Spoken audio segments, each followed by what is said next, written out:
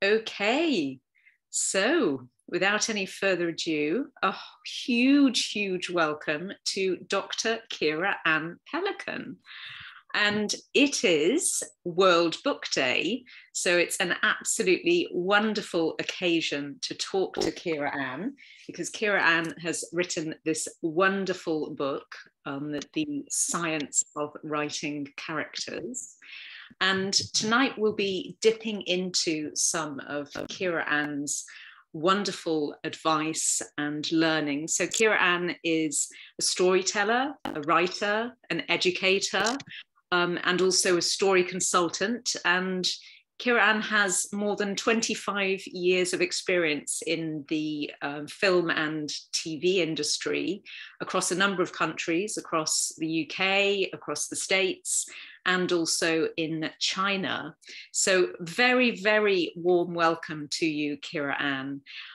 Um, just as we sort of kick things off, can you tell us a bit about your creative journey and where it began and, and how you became the amazing storyteller that you are today. Don't know about that, but yes, absolutely. First of all, thank you very much for inviting me. It's lovely to be here and it's lovely to see so many faces and some of you I've seen online. So, again, lovely to meet those connections.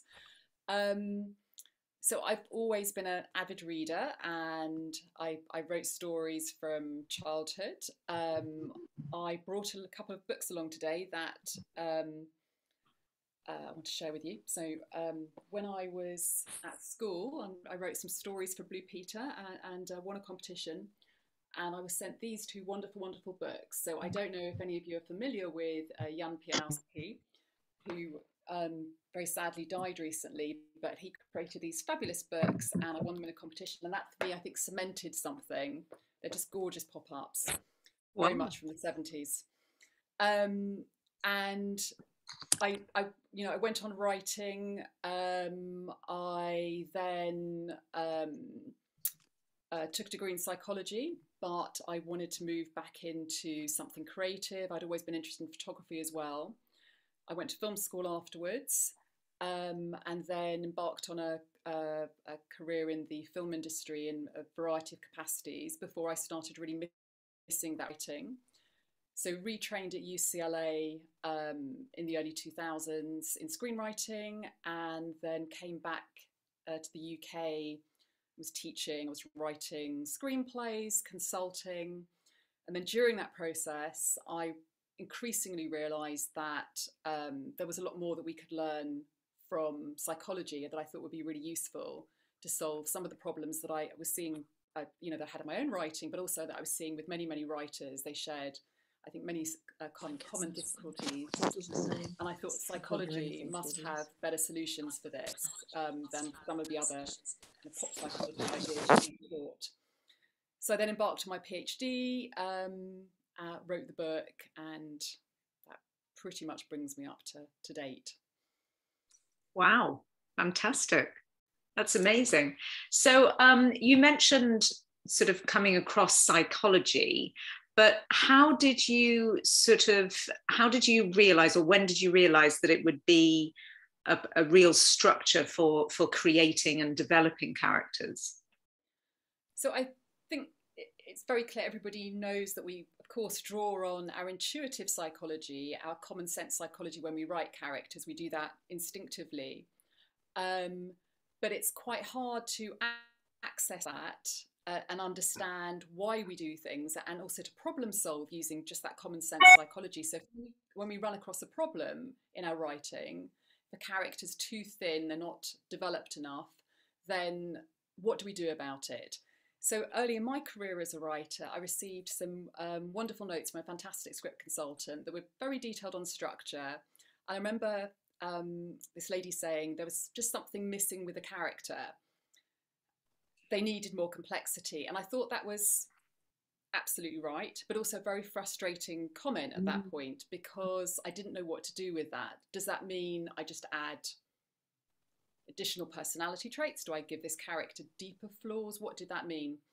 But I had the feeling then that actually there was a lot more that we could learn from psychology that could address ideas like what is complexity in a character? What does that actually mean? How do we better define it rather than saying just make them more rounded. mm. um, and we could learn more about relationships so that it could be really useful for writers when they first start writing um, to think about some of those ideas or if they're much more of an intuitive writer and don't like to analyze their characters before they start then um, as a structure to reflect on so then rather than getting notes back from a reader saying there's something missing here mm-hmm. in the same way mm-hmm. that we can get very precise notes on potentially structure we should be able to say this is missing. Um, have you thought about, you know, these areas, or here are some potential fixes? So that that was really what led me to um, go back and re-examine psychology and, and some more contemporary theories because um, nearly everything we read in books, uh, screenwriting books, writing manuals, and so on, is relates to psychoanalytic Freudian Jungian um, mm. psychology, mm. and that's been covered endlessly. And there's plenty of useful stuff we can take from that. But actually, in terms of the way psychology is researched, taught, and practiced today, that's a very small part of it. It's mostly historical. So psychology's moved on a long way since those two yeah. practitioners. Wow. And obviously, you know, I would say, and you would probably say, read the book to find out a bit more about how you know using psychology works. And and i've i've i've read it. I love it. And i've also been to one of your um, workshops in the past as well and found it incredibly helpful the sort of things that i definitely would not have thought about. Um, but do you have almost like a um, pocket-sized formula so to speak um, that makes characters, in your view, compelling or psychologically believable? So I'm I'm slightly anti-formula um, and, and, being hugely prescriptive about the way that yeah. we write. Um, I, so rather than a formula, I, I, th- I, there are a series of kind of checklists that I would provide. Mm. Starting with, um, you know, in terms of creating a believable character, we need to uh, if they're a character we're spending quite a bit of time with, longer than in a short film, for example, they need to feel believable and complex and rounded. And um, we know what that means from psychology. We know that that means that they must be shown uh, across five dimensions of personality. So I think that's very useful as a start because if you're, you can then reflect on a character in a screenplay and, and see, do, do I have any idea how open they are to experience, or do I have any idea how um, conscientious they are? Maybe these things are just missed out. In which case, go back and it's a, it's a very easy note to give somebody or to think about yourself. Um, so we have to have a sense of a consistent, a relatively consistent personality. We all have um, an idea of who we are. We have an idea of who the people we are. You know, when we meet others, we were just chatting. You and I were just chatting about Elliot being more extroverted than us earlier on. Elliot, there we go to put you on the spot. Um, so, so it's something that you know consistently comes across this this sense of identity, and and that that needs to go down the page. Otherwise, we don't get an idea of who a character is. So that's one aspect, this stable idea of of personality. And yet, personality is also fascinating because actually we behave in a whole variety of different ways. And Jennie and I were both saying that um, we're slightly more introverted, but have to act in many ways in, in you know in, in, more extroverted fashion at work and so on. And depending on the environment that we're in, I'm I'm usually much quieter than this. Um, so because I'm in this environment, this you know makes me much more chatty and uh, uh, act in a more extroverted way than I usually would. So when we're thinking about our characters, they also need to adapt in realistic ways to the situation we're in. So we need to think about context. Um, and your characters need to uh, show those variety of differences according to the context they're in. And then also sometimes characters are, you know, most interesting when they act completely out of character. That could be fascinating. So why are they acting out of character? It needs to be believable, and that's really compelling to watch when we see a character that we thought was like this suddenly behave in a very, very different way, um, completely out of character, and yet it's believable. Um, one of the things that I talk about in the book and also in my, my talks um, is that um, uh, um, uh, uh, one of the notes about from from E.M. Forster, uh, uh, was that characters need to keep on engaging us as, as we read, turn the pages of the novel. And um, one of the ways they do that is you know, continue to surprise us, but it must be in believable ways. So I think that that surprising but in believable ways is all about finding the right context for them to act out of character, um, bearing in mind that in certain contexts, there will be uh, very rich emotional cues. They'll remember things from their past that um, will, will cause them to, to behave in, in kind of unusual ways. Uh, so that's something else to consider. Um, of course, strengths and weaknesses coming through the personality traits. Um, so, what are your character's flaws? I, I, think that's you know hugely interesting. We're always interested in. We, we, just had a brief chat about backstory earlier. Jennie and I did. Um, we're always interested in trying to understand why people behave the way, we, the way they do and predict their behaviour. And if we can start to see explanations for that in backstory, we you know we think we're very clever. We think it's interesting. We think life's more meaningful than it necessarily is. So that's interesting. Um, and then transformation. Most people change under pressure. So showing a character evolve under pressure is is also important. And then, of course, other aspects like making your character emotionally engaging, really thinking about how are your audience going to relate to your character? Why will they want to watch them in the first place? What's going to draw them in? How do they feel about them? And taking your audience through that rich emotional journey of highs and lows um, to keep them engaged, to keep them surprised, um, to keep them learning um, from that story, because ultimately I think we really do um, subconsciously and unconsciously watch stories and, and, engage with stories so that we can learn from them about, um, you know, more about how people behave in real life. Wow, that's uh, that's a very useful, I think, potted history of uh, of your work and um, and what you advise in the, in the book in many ways. You mentioned um, emotion and the importance of emotion, and I know this is something that um, I think Elliot always sort of drums home and and and says that you know emotion is one of the most important things. You know, your audience, your reader has to be emotionally connected or you know really actually actually be taken along um, with the story the characters um, so what what do you think is the importance of emotion in in creating compelling characters as Elliot has said it's it's everything it's absolutely everything so emotion is engaging the audience in the first place if they're not engaged engagement necessarily means emotionally engaged. If they're not engaged, they're switched off. They're out. They're out of there. Yeah. So that starts with um, you know the very first split judgments we're making about that character. Who are they? We're wondering whether how we're going to feel about them. Um, if they feel like more of a trustworthy character, we're looking to sympathise with them, to care about them. So they're, they're I think we need to ask the conscious questions of, of, of why should we care about them? What is sympathetic about them? What do we like about them? Mm. But that's, of course, only one way to relate to a character, to start identifying with them. Um, characters can also be fascinating when we don't feel sympathetically towards them at all. Mm. Um, I'm watching. I, I, I, don't think it's a particularly good show, but I'm what I happen to be watching. Um, is it Inventing Anna on Netflix at the moment? inventing? Re- oh, I tr- I started that the other day, and I I was like, oh, I'm not sure about this.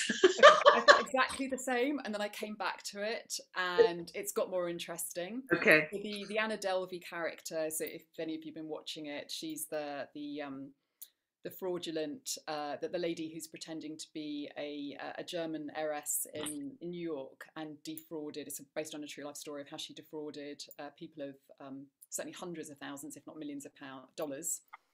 Um, she's interesting. There's, I find there's nothing sympathetic about her at all, but it's interesting to see how she got away with it. So, you know, characters that we don't um, sympathise with or we, we instinctively find not trustworthy, we are going to want to learn from. We're going to be fascinated by them. We would have, when we were, you know, first evolving in, in tribes in the, the Stone Age period, we would have been watching those characters and trying to predict and learn from them what's going to happen next. We're all human prediction uh, machines.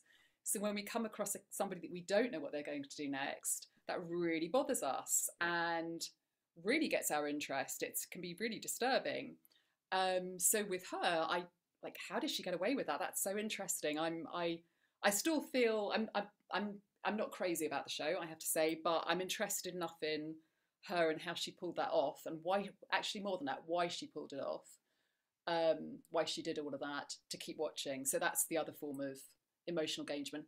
And then of course from there, we you know in terms of keeping an audience um, engaged it's it's creating a very rich emotional experience for them and one of the exercises that i've done sometimes at a Raindance with students is to just to get them to reflect on their morning or their day and how many emotions they've felt even during lockdown at home. And it's not just a question of happiness and sadness. They will probably have felt you know moments of disgust. Maybe they opened the fridge and there was nothing in it that appealed to them. Um, maybe they felt moments of, of shame when they got an email back that was a little bit critical about their work. Um, I'm sure they found found a few moments of pride. So we have these very, actually, really quite rich emotional experiences, even the most boring of days at home. And we have to compete with that when we tell stories. We've got to grab audiences away from those that that that rich emotional experience we have in everyday lives and make it even richer. Um, and of course, the more attention grabbing it is, um, if that's your you know the, the Netflix fare is is is all about creating those peaks and troughs of emotion, that roller coaster of emotion, um, to really keep the audience engaged. Actually, there's been some re- some interesting research by um, a couple of uh, um, a, research in Washington State and a former Penguin publisher who were looking at this in novels. Um, and they published the results in a book called the is it the bestseller code or the blockbuster code? No, it must be the bestseller code. And um, they and I, I, also interviewed him for my book, and they they talk about how um, bestseller New York Times bestsellers really follow very rhythmic peaks and troughs of emotions. So the the protagonist goes through you know very rhythmic highs and lows um, to create these page turners, and this is what all those page turners have in common. And um, I, I, just think that's that's absolutely fascinating. Of course, it's not everybody's intention to try and create a page turner like that as, as writers. There are many different styles of of prose and and, and uh, novels that we can create, but um, it's interesting, I think, to to think about that. Absolutely. Um, do you think that I mean, obviously, your your your book is very much focused around um, writing characters and and, and developing them. Um, do you do you think that it's as important, if not more important, perhaps, than story structure? I do. I do. I, I you know, we don't have chats after films that we've watched about the structure unless it's very different. And bearing in mind that um, we engage with characters, so, but bearing in mind that in the US, 80% of films that are made um, make absolutely no profit at all at the box office. And the vast majority of those will be with classical three act or five act structure, same thing, three act, five act. Mm. Clearly, structure alone is not enough to make a film work and engage its audience. Characters are the things that we engage with, they're the they're the elements that we remember. So um, that's why I'm, you know, still slightly bemused about how many books and how much how much we stress structure. I, I think it's very useful and very important. Um, but there are many different ways of telling a story, and the Western way has uh, been dominated by, you know, this conventional three slash five act structure. It's just one form of of storytelling. Yeah, I mean, I, I, think I agree with you. And I think I'd even maybe be slightly controversial and go a bit further to ask you that, you know, if you do develop those characters that are so strong, they almost have a life of their own. And, you know, perhaps in a way they almost create a story structure or, or drive that forward. And it doesn't have to rely on the hero's journey or any other alternative that's already been written out before. I, I completely agree. I, I completely agree and I think we also see those ideas explored in literary fiction, but I think it would be mm-hmm. very possible to create page turners as well.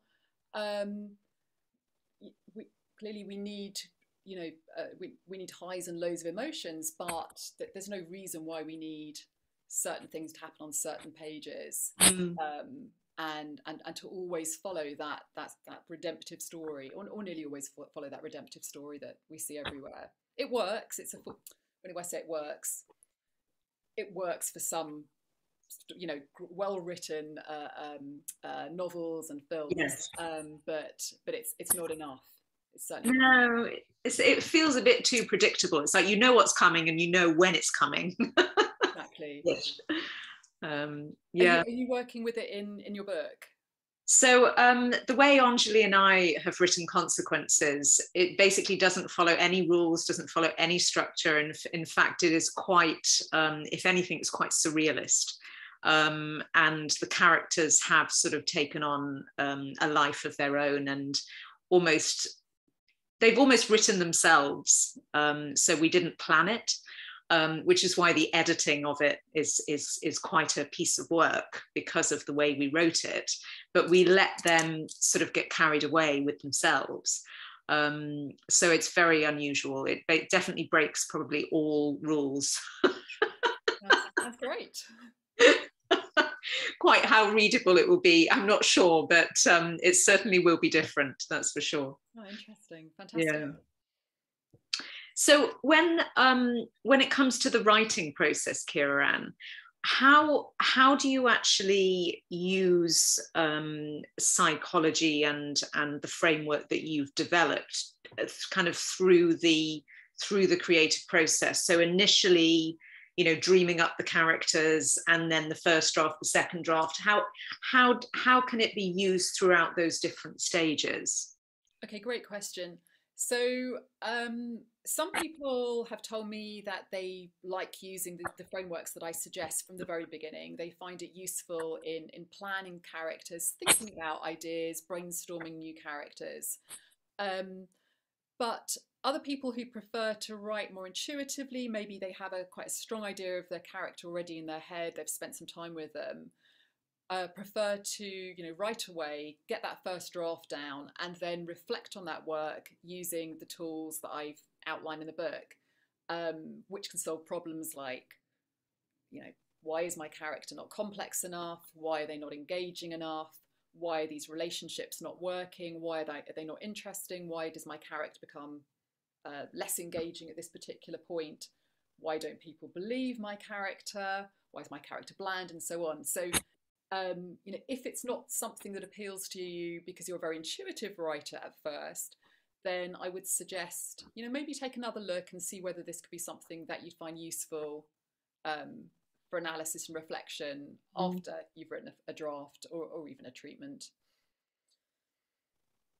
Yeah, yeah that's good and then again i guess for um you know for that kind of final editing where you think that there's bits missing you could probably just fill in or you know go through those different um like you mentioned the five um uh can't remember what it was the five dimensions of personality five dimensions yeah so yeah. just sort of filling in bits that are missing i guess as you go through yeah Absolutely. I'd love to hear how other people in the audience, how do they, how do you work with your your characters? How do you develop your characters? And um, are you quite analytical about it? Or do you prefer to save that analysis for a later draft, reflecting, you know, reflecting on a later draft? Please do either put it in the chat or, or unmute yourself and feel free to speak. Uh, yeah, sorry, uh, Randy chiming in here. Yeah, I'd like to say that, you know, mostly with my characters, I do a bit of analysis at the beginning, but I recognize that until I actually test them, put them in situations, let them interact with each other, I'm never truly going to understand who they are. And so it's it's both a sort of, you know, as, as I joked in, in the chat, it's like, you know, the outline, the structure is something I've created. The story is what the characters tell me it is. Because it's I, you know, for me, it's very much about letting the characters express themselves, letting the characters hide things from me and surprise me. Um, you know, I've I've written a murder thriller and did not know who the killer was for about two-thirds of the screenplay as I was typing it um, and that's just I, I like those organic moments but i realize there's also sometimes where you you know you do have to sit there and go in the rewrite phase how can this be better? How can this be stronger? So, you know, just to, to plug your book, it's a phenomenal read and it's a great reference to go back to time and again um, because you do sort of help turn on that light switch every now and again. Thank you. That, and I think that's fascinating as well. I, I think the process of um, you know starting to hear characters' voices in our head is so interesting, and it, it seems to be about you know spending uh, enough time with a character that we internalize them and they they they start having agency in our minds. And that that is such a fascinating psychological process isn't it? Obviously akin to acting i imagine. Um, how do other people do this? How do you develop your characters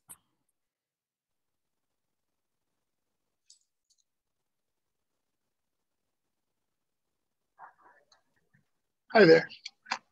From across the pond. Um, uh, typically uh, have an idea, a rough outline of what I want um, their kind of their arc to be. Um, but then what I'm finding is, as I'm writing it, um, much akin to what the previous uh, feedback was, um, the voice becomes a little bit more clearer, especially as you put them in different situations and you start to think about um, the dialogue expressing um, more than just um, you know reactions or um, like pretty obvious things. So that's kind of where I'm at on it. Pretty interesting. If I can submit my own opinion, I often will put a character with two or three different character traits on our the Raindance social media to see who gets the most likes. I know that demonstrates that not only my characters but myself have delusions of grandeur. But it's, but it's something that I learned from you, Kira, and how you know that certain sorts of character types get better responses on social media. It's fascinating to see that, isn't it? I'm, hmm. I'm always looking at that my my on my my Instagram page at the moment and seeing which characters you know getting the most likes and wondering whether that's about more people being on that online that day or, or something really resonating right now. Um, so I noticed that Rick from Casablanca, who I posted on there this morning, is really not very popular at the moment. But Mare of Easttown, hugely popular. Um, oh, the lady from Hacks uh, begins with a J. The main character from Hacks, she was extremely popular. It's fascinating, really, really interesting. I noticed you had Miles on from Sideways. That's one of my favourite characters. So oh, he's lovely, isn't he? Absolutely. Great Wonderful. writers. does anybody else want to comment on on their character writing before we move on did we have somebody in the chat saying knowing the character motivation imagining their internal ah, psychological oh, yeah. spaces and then writing situations for them. So olga that's that sort of sounds similar to um, some of the things that randall has said. Yeah. Interesting. So moving on to um, backstory, um, Kira Anne, which which you mentioned earlier. I mean, this is something that um, Anjali, I don't, I don't know if you want to come on talk to it, Anjali, but uh, Anjali and I have have fed into our work. There's quite an important backstory um, about the characters and and the you know the reasons why they are um, the way they are and what they do. Um, you know, have you got any tips for for how backstory can be weaved into um, writing and why this is important? So, without and obviously it can be done in a variety of different ways. It can, we can hear about a character's backstory from another character. We can they can learn more about their own backstory. So there are a variety of different techniques. But in terms of when that backstory is most likely to come up for the character, so potentially using flashbacks, um, then um, then I, the, the, most believable ways of doing that, uh, and arguably therefore the most emotionally truthful and compelling ways of doing that, will be to uh, um, to find the right clearly to find the right scenes to reveal this.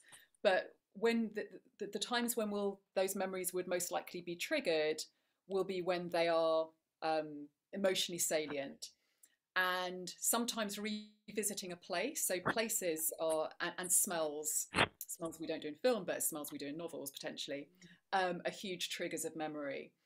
Um, and also changing time. So if we're under a lot of pressure, if we're under a lot of pressure and we revisit a scene where something difficult happened, um, we are likely to have those emotional triggers. So something may, um, you know, re-emerge at that point. Or if we're with somebody that uh, reminds us of an incident from childhood, for example, then that can be another emotional trigger. But it's all about, um, you know, the, the, the most plausible and therefore truthful and I would say engaging, compelling flashbacks will be triggered by um, by a scene, by the situation. So you know, finding the right time for that. Um, yeah, does that is that yeah it, it, it, very obvious? No no that is helpful and i guess it, it it also sort of you know explains explains why the way they they are the way they are and it's it's kind of linking that isn't it? So linking the backstory to those various different um, psychological traits that they have. So yeah i think that's yeah. really helpful. Um, yeah. I was just going to add about backstory because when, uh, as Jennie said earlier, we wrote the characters and we didn't have a backstory. We had to go get write one. So we just basically um, said they were brought up in France, and then that started us off on a new path, really. So yeah, it worked though. It did work. And, and yeah. psychological trauma from when they were younger as yeah. well. Um, yeah, we had to put that in. Quite intense psychological trauma. Yeah. Um, but it's kind of become a lot bigger than it was, hasn't it, Anjali? That, yeah. yeah. It was in the now, and we didn't really have a past for them. They just came out of nowhere. Right, that was very difficult. but that's interesting because that you, you presumably got to a point where you where you were looking for explanations as writers, and, and I think it's fascinating. Mm-hmm. I listened to a really interesting lecture by a psychiatrist who specialises in memory the other day, and she was pointing out that um, psychological theory for many years, um, uh, you know, uh, uh, um, uh, you know, strongly argued the case that we were blank slates and that everything that um, you know the way that we are is com- completely explained by our backstory. But of course, psychiatrists know that actually we're not blank slates, um, and uh, we come with a genetic inheritance and environmental factors also shape our brains as well. Um, but as writers, that's not interesting. As writers, we want to make meaning from the world. So we don't want to understand characters in terms of, um, you know, something biological going on in the brain. That's a lot less interesting, unless we're exploring ideas around that. Generally, we want to understand why people are because of the events that have happened to them. And we look back to make those connections and we find them interesting and it helps us make life more meaningful. Uh, so I think it's fascinating. Um, I think I think I think you know I think also thinking about traits, and it's something that I've thought about more actually since writing the book. So it's not in. If I rewrote the book now, I would add a big chunky section on writing from the floor. Um, but I think that um, you know thinking about those events that have shaped us, that have created flawed beliefs about the world, um, uh, that, that continue to guide us, that also shape our, they shape our needs, they shape our goals, um, and they shape our emotions as well. Because we, you know, there may have been a situation that made us ashamed, and so we didn't want to have to deal with that again, so we hide away from things. Um, or maybe it made us aggressive. So, so the emotions that have also come out, or, or potentially uh, of um, that backstory, and continue to guide us, I think are fascinating. I, was using example recently in something that I was teaching um, relating to backstory and, and Breaking Bad. Um, and there are a couple of things there.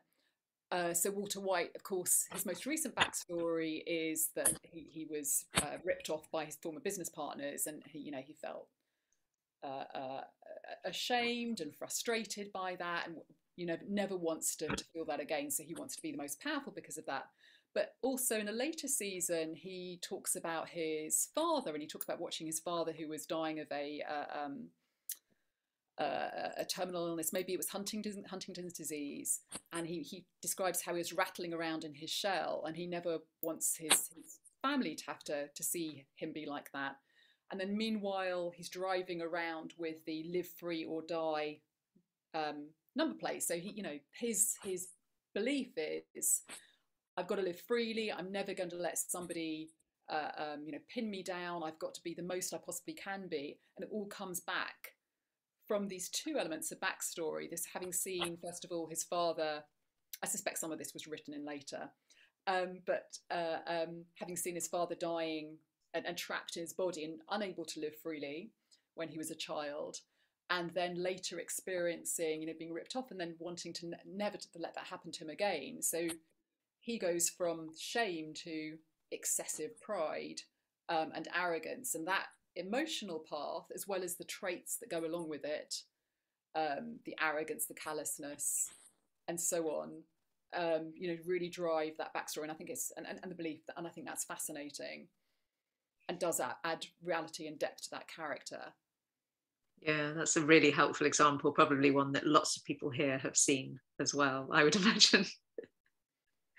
And just moving on to something that I know from, from the various sessions that we've had here at Collab, people have, have said that they often struggle with dialogue.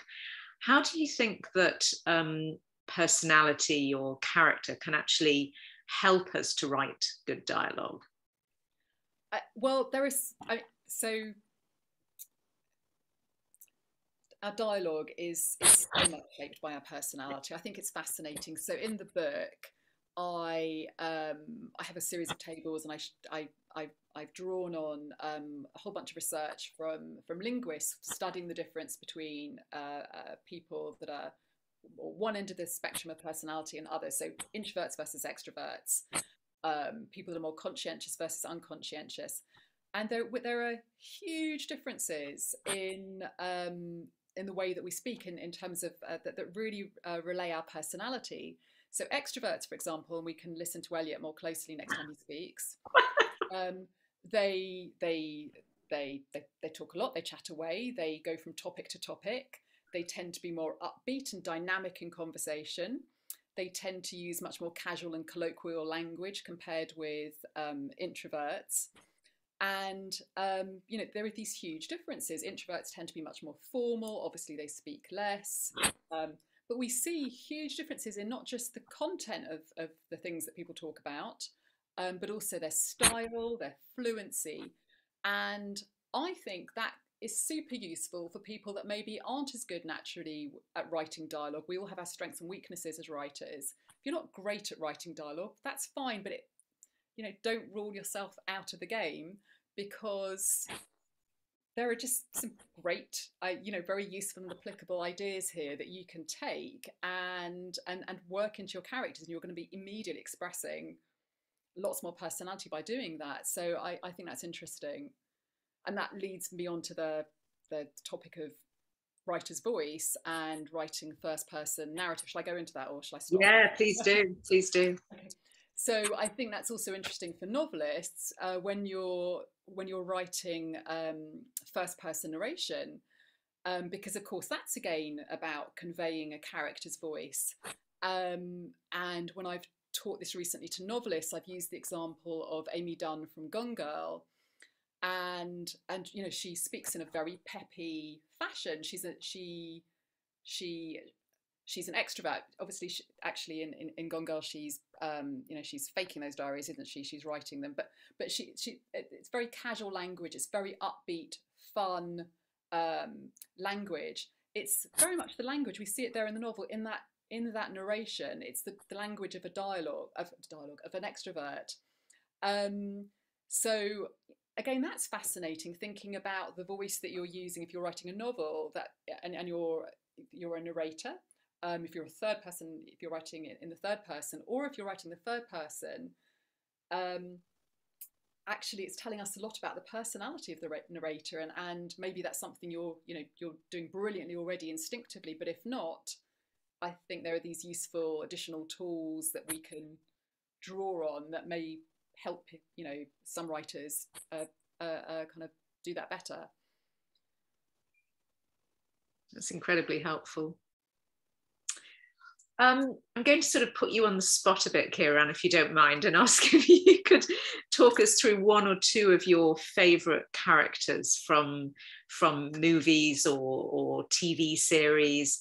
um, that you find particularly compelling. Um, and if you could just um, tell us a little bit about why, why they're compelling, I guess, in your eyes. Okay, so I'm going to first of all say I have massive near sight bias when I'm when I'm thinking about something that I've loved. Um, so it tends to be whatever I've been watching most recently that I've really engaged with. Um, and of the series, of the TV series that I've watched over the last year, um, uh, Mare of Easttown is one of the characters that I've I've loved, uh, I've most enjoyed, um, and also I've loved. Um, so I'll talk about Mare, uh, and then also uh, the um, Jennifer Coolidge character in, in, White Lotus. I really enjoyed her as well. But Mare of Easttown, um, she she felt very real to me. She felt uh, beautifully portrayed. I identified with her. Um, she is, uh, uh, um, I very much identified with her. She kind of, she's hardworking. She gets on with it. She just keeps. Uh, um, I, I, I, identify with many ways. I think she was just beautifully drawn. I think the details in that show, the sense of place, the sense of characters, were all really helped make it um, feel something very real and emotionally truthful and engaging. Um, and given that it was a crime drama, that that felt all all of that, everything from the characterization through the sense of place and storylines, just felt very well um, researched. Tremaine, I'm I'm pleased you agree with me. What did you did you you enjoyed her as well?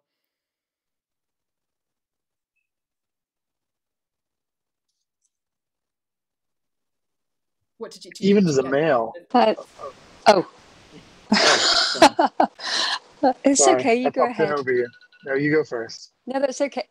Uh, I didn't expect to be put on the spot like that, but um, yeah, I, it, it was great to see um, Kate Kate Winslet in such a, a, different role as well. That's all I was going to say, really. But um, yeah. I lost sight of who who she was, and people commended her on her accent as well. Brian. Yeah, she was a. Oh, sorry. I was I was just gonna add, even as a man, I I her human qualities I think were what I mean, that's I think the goal um, when I'm writing a character is to write a character that feels human. Because I connected to her on all the levels you talked about as well, but obviously I'm not a woman, and I, um, but she's such a compelling character, uh, just on so many levels, um, as were the rest. So I just wanted to add that. So. so, so that's so interesting, isn't it? That we can identify across gender, it, be, it becomes irrelevant. Um, would you would you say would you say connect, or would you go as far to say as identify with, or is that taking it too far? Oh, identify for sure. I mean, sure, yeah. the situations she was in were so well written, and not all of us are solving murders or are uh, a, a cop in a small industrial town, but the human part of her character, the, the connection points, I guess, is to her character allowed us, whoever you are, to connect with her on some level as of experiencing just the slightest bit of maybe some of the things she was. I completely agree. Has anybody watched it and not enjoyed it? Which is obviously valid and can be interesting.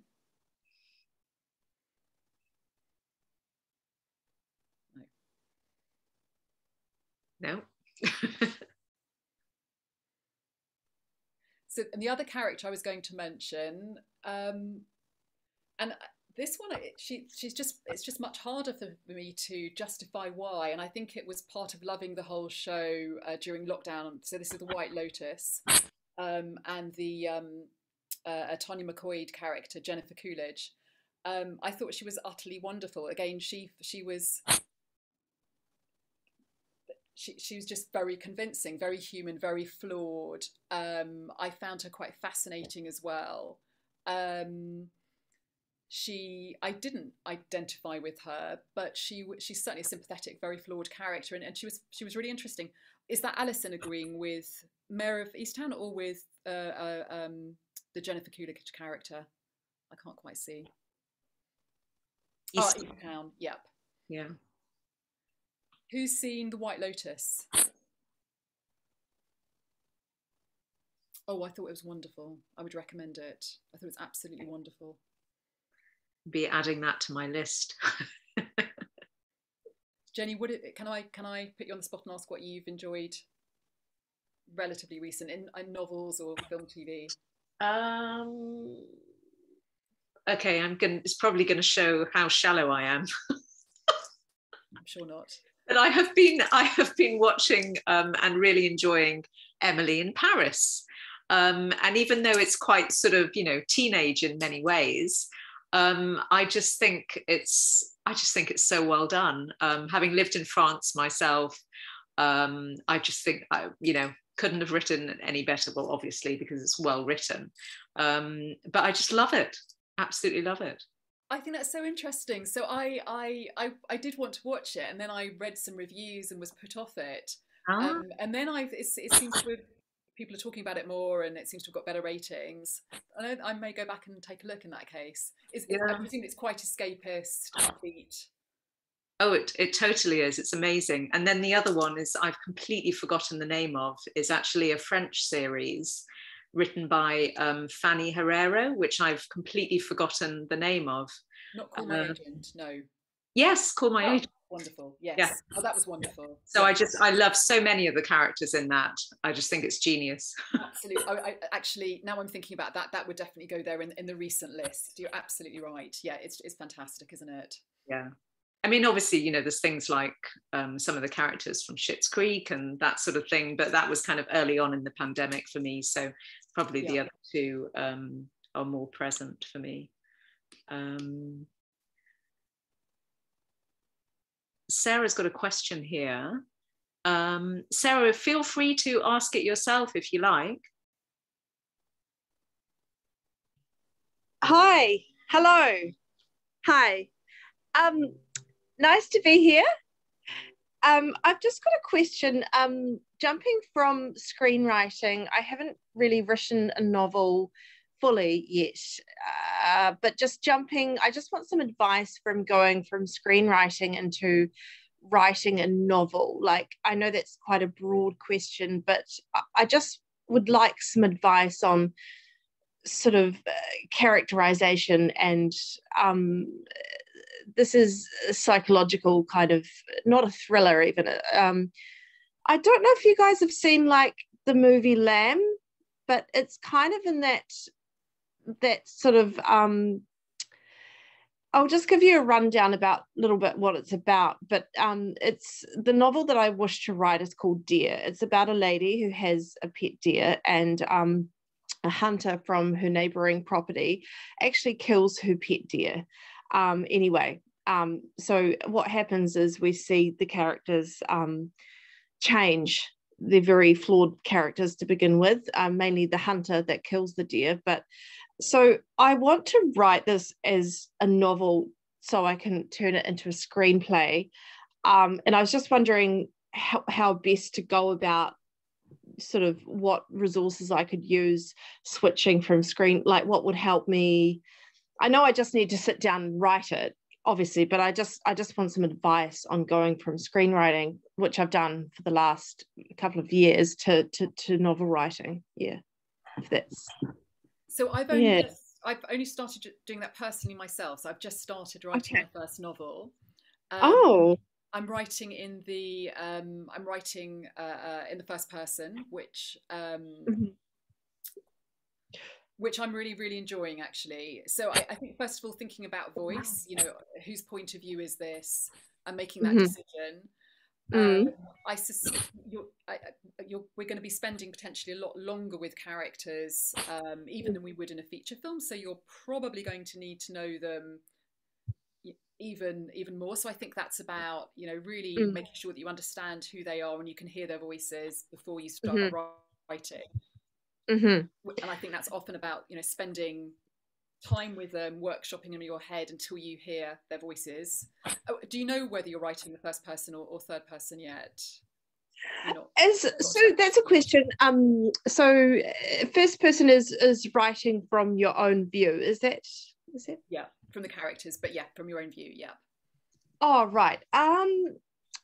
Yeah, I I think I think that might work. I think that might work actually, um, because um, I might have to do a bit of research on that because um, I'm I'm kind of out of touch with that kind of style, you know, novel writing, long form writing, rather than you know just ninety page features and things like that. But yeah, so so would so I'd need to have a clear idea of of the first person or third person. So the third person is when the characters are, are telling their story, aren't they? Yeah. Is it? First, yeah, first person the characters are telling the story. Third person um, describing from more of a distance. But oh, actually, yeah. there's something to look up. If you do that, you should also. I won't talk about it now, but there's there's something Mhm. to look up which is called psychic distance. That's quite interesting.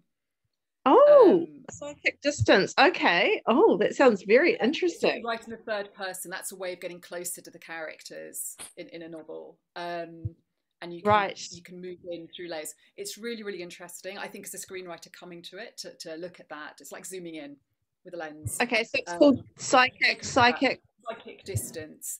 And I think that the person that originated that idea was John Gardner. So, but if you Google Oh.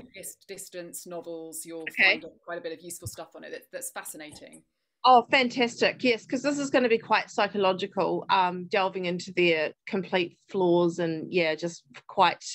It's it, the deer does not come back as a scary, you know, monster type deer, but it comes back as some sort of um, almost kind of godlike um, sort of symbol to change this hunter's viewpoint. So you'll see a change in him from going to, from being a, a hunter without um, a conscience to yeah. So okay, distance, psychic distance. Thank you, Psychic- Kira. Yeah.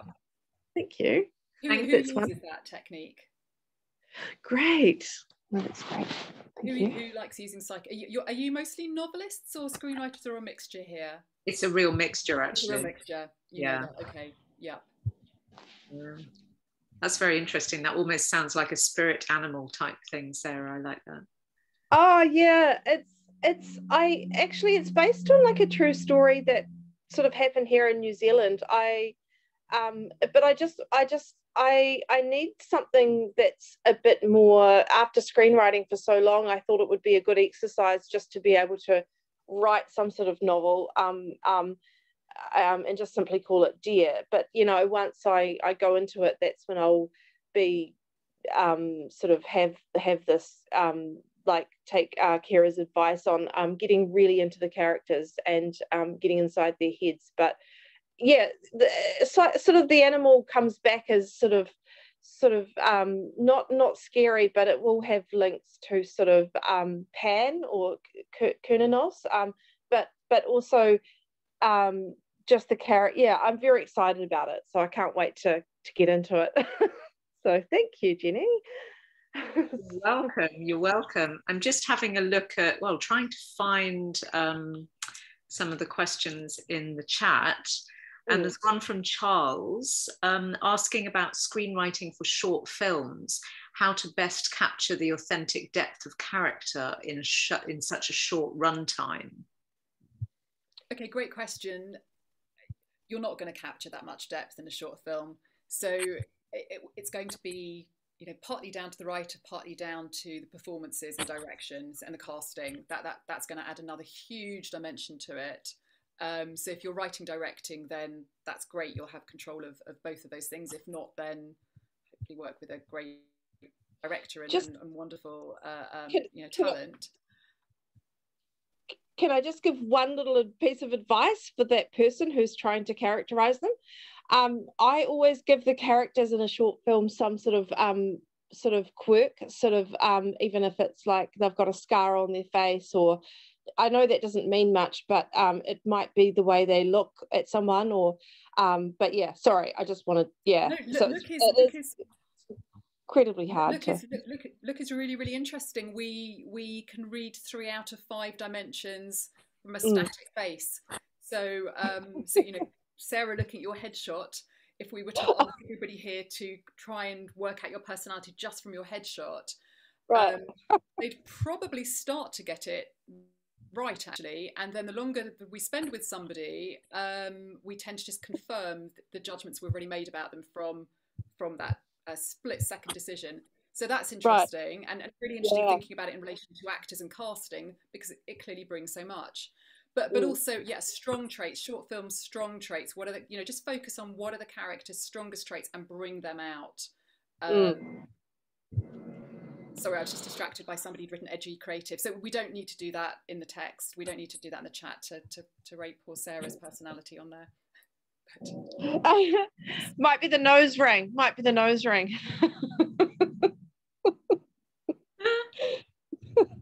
and, and, and actually concrete details as well. That's another thing. So if you've got um, concrete details are always useful and interesting and, and, and make characters feel more believable. So if you've got a highly disagreeable character they're going to be opinionated.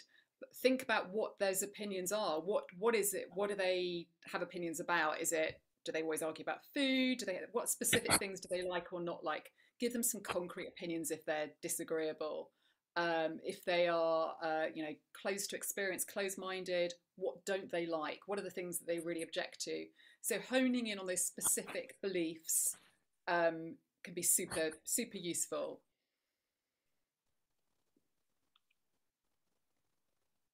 Does anybody else have any questions at all?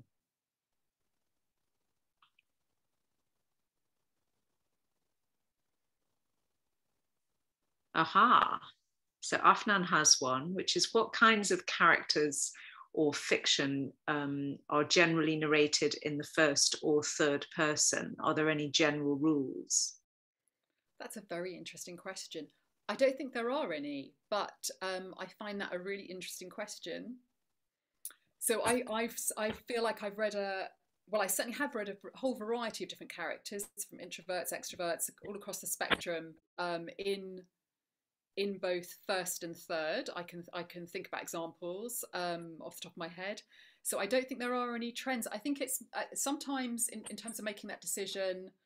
Um, y- y- obviously, you've got to do what's best for the story. There may be specific reasons why we need to see um, a story told from different points of view. Maybe people disagree about the events that happen. Maybe we need to, uh, you know, maybe we have an unreliable narrator.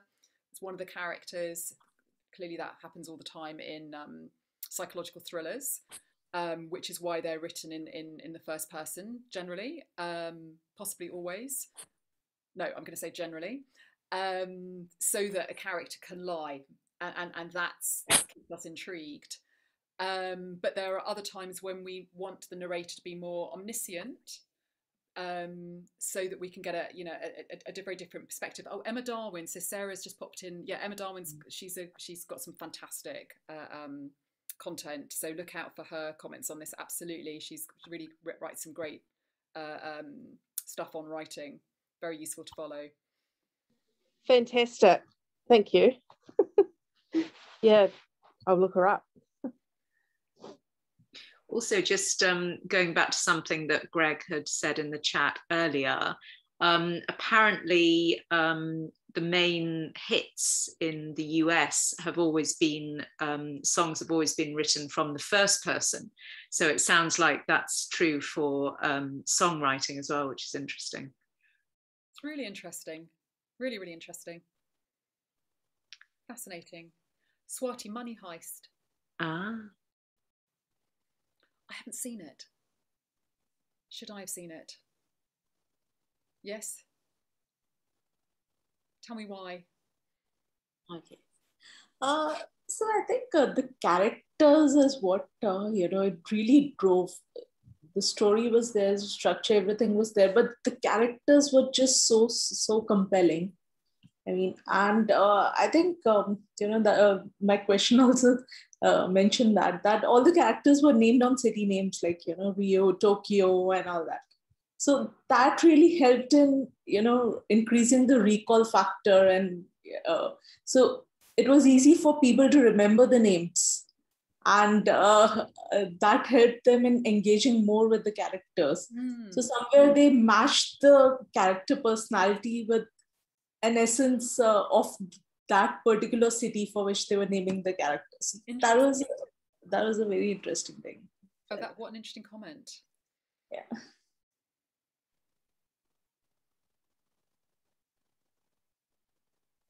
I'm just reading through the other comments here. Yeah, that's what. if anybody wants to um, ask Kira Anne anything, then now is your chance. Um, but in the meantime, Kira Anne, it might be worth telling people about your um, character masterclass um, and what what people may um, hope to expect um, later in the spring. Yes. Uh, so at the moment, I just have an Instagram feed, and if you are um, if you're uh, uh, um, working on character introductions in screenplays, then I'm posting at the moment a, a, couple of character introductions from films and TV series every day. Um, so that that you know that may be a useful resource. Um, and my plan is what I'm doing at the moment is I'm also writing a longer course um, that will take you through a longer video based course, but I'll also provide some uh, feedback to every writer. Um, thank you, Randall. Um, uh, you know, taking you from the very, very first stages of developing a character through to the final stages. So really, you know, drawing on all my resources and, and, and allowing you to workshop your character from the very, very beginning to getting them down on the page working through any problems and so on. So my most comprehensive um, course yet. And then I've got a Raindance uh, um, lockdown coming up on March the 14th, possibly 14th. Maybe I should have. I meant to check that just before, but there's I've got a, a, a, a lockdown course that I'm very much looking forward to in a couple of weeks. Courtesy Elliot, thank you very much. Wonderful. And yes, Instagram's actually quite interesting. I, I was avoiding Instagram for a very long time, um, and it's it. I mean, there is some obviously quite moronic content on there as well, but you can. There's quite an interesting writing community too. Yeah. Say, if anybody has any personal, if any you know questions about your characters you're developing, I'm very happy to answer specific questions or um, I don't have a specific question about a story, but I'm I'm really intrigued about lying, and um, uh, what? now let me finish this sentence here. Considering how much people lie, not just in a malicious sense, but every day we lie to ourselves. That person really likes me, or this, you know, the the because we're very complex, extremely most complex computers on the planet, but we also rely on lies to um, support our ego, to support our reality, our version of our world. So, what do you think are? It's just at the moment you've made me very interested in lying and lying characters and the the type of framework is most common for good liars. What's who's your favorite liar character that's like absolutely amazing liar because I do think Breaking Bad is like one of the most complex, incredible characters, but there's so much lying and in delusions that go on in his own world. But do you have another couple characters that you enjoy for their because there's always an assumption. Why should we have all these characters telling the truth all the time, telling us everything? Do you know what I mean? Like, do you have some characters who are fucking amazing liars? Well, well the, the, the, the one that comes straight to mind is the talented Mr. Ripley.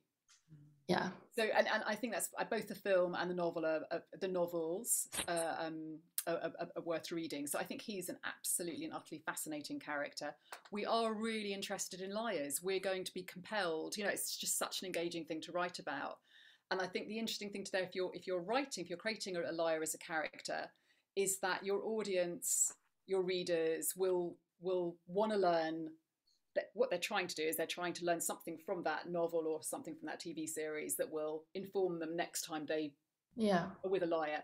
So any any insights that you can give your readers into how the mind of a liar works are going to be fascinating. So it's just really compelling. But why do we like liars so much? I was just before the class here tonight, Kieran. Congratulations, it's wonderful, and thank you, Jennie. I was looking at a Russian interview of their spokesperson about the Ukraine war. And the interviewer was saying, Have you just aimed badly, or did you actually try to do that? She said, There's a third reason. This was staged by the Ukrainian army to make us look, make us Russians look shit. And it just sank a dagger in my heart, but I will never forget that. And was wondering what insight you can do on the psychology of lying because when we see a liar and we know what the lie is, it just is so powerful, isn't it? So, so I, so I, I maybe there are two questions that come out of that. It's, it is so powerful. I, I think, you know, why are we so interested in watching liars um, as audience members, as readers? And then secondly, why do people lie?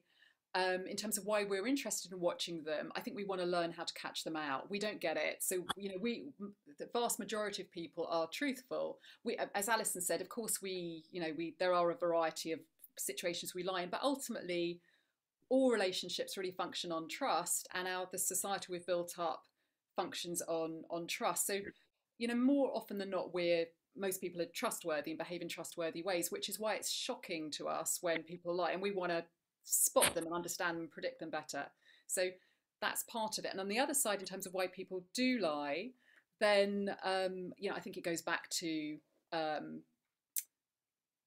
flaws childhood flaws having learned to deal with situations uh, uh, in a more manipulative fashion um, and you know pot- potentially coming you know having that belief that if i if i you know that that, that i i, I that it's about not being yourself you can't be yourself so if i pretend to be this then i'm going to be more liked i'm going to i'll, I'll avoid trouble if I, i'm always like this um, so I think it's kind of about digging back to the, the, the, the, the flawed beliefs that create those lies in the first place and damaged psyche. It's, you know, it's damage that, that, is, that, that creates that. But, but it's so fascinating.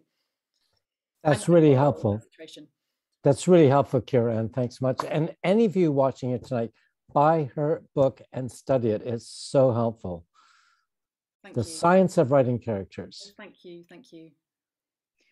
It is amazing. And it's also something that, you know, obviously it's short enough to be able to read through in one go, but also it's great to dip into and almost have as like a writing companion, um, which you can't say of, of all writing books.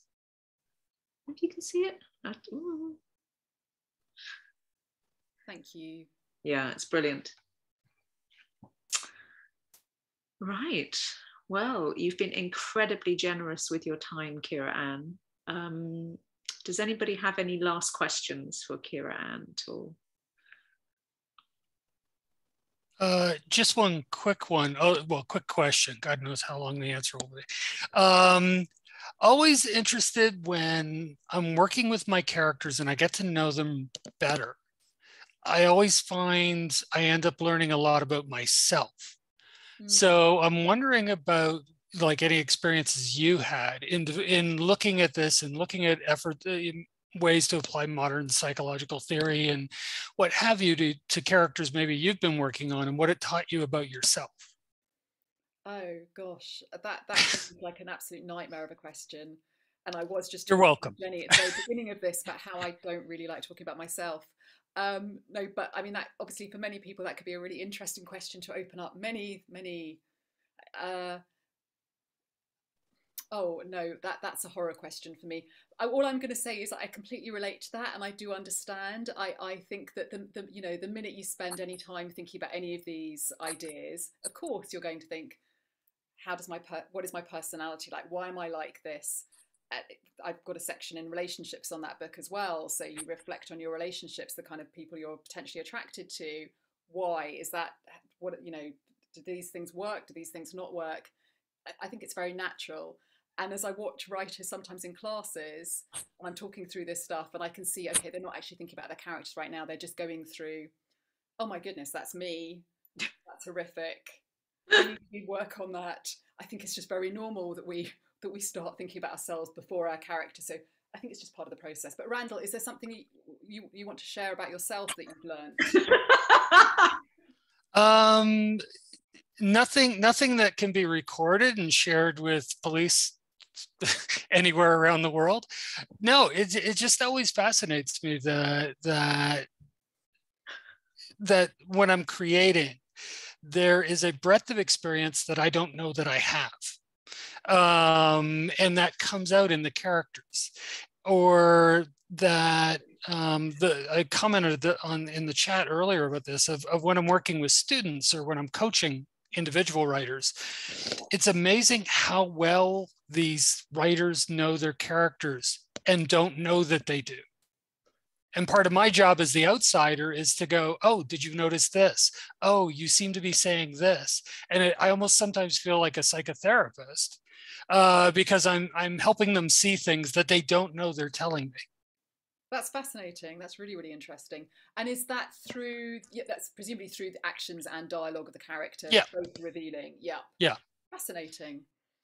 Yeah, it's it's amazing how often a character will make a sudden or a subtle comment, or the writer will have written an act, you know, or, a reaction to something, and it's like, oh, you know, I'm watching this as an outsider, so I don't have to worry about writing, which is I think what distracts everyone when they're trying to write is, oh my God, I got to write the next thing. So we don't, I, I, think we're not as aware of what we're writing.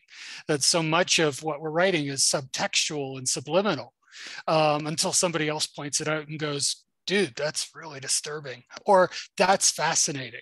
Um, and to watch students' faces light up when they realize what they've already written, that's one of the perks of the job.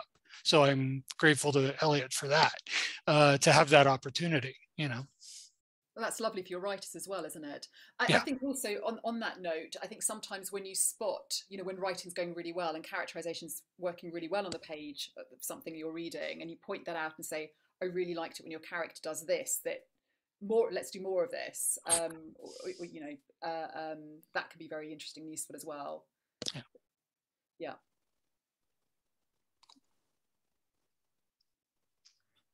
Wow. Thank you so much again. I think we'll probably bring it to a close, but if anybody wants to hang around for a little bit of um, chatting about what you're working on, then feel free to. Um, but I think we'll we'll stop the recording now. Um, and thank you so much to our special guest, Kira Anne Pelican, on um, World Book Day. Thank you, Kira Anne. Well, thank you very much thank you very much, Jennie, for bringing me on. It's really been lovely. And just meeting all of you and, and hearing your comments and questions and, and about your characters has been absolutely fantastic. So thank you.